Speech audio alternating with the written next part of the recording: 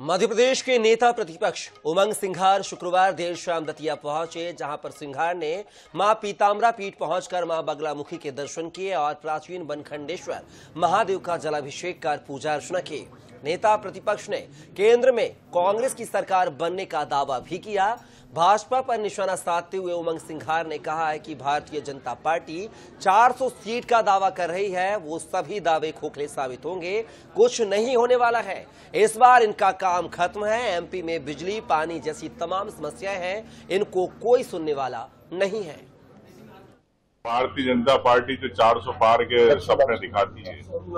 अब तो उनके नेता भी बोलना छोड़ छोड़ चुके हैं 400 पार। लगता है कि उनके नेताओं ने आप, आप हार मान चुके हैं। चार तारीख को परिणाम आपको इस पर दिखेगा चालीस पार्टी के अगर बैसाखियों पे रही है जो पार्टी गठबंधन रही तो कैसे 400 पार हो सकती है? ये सवाल का जवाब जनता देगी।